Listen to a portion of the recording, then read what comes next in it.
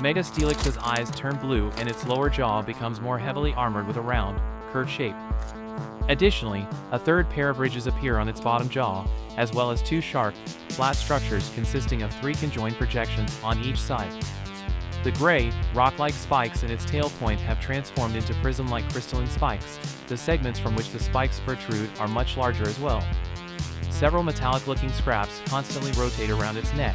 These scraps react to Mega Steelix's movements and change position when attacking.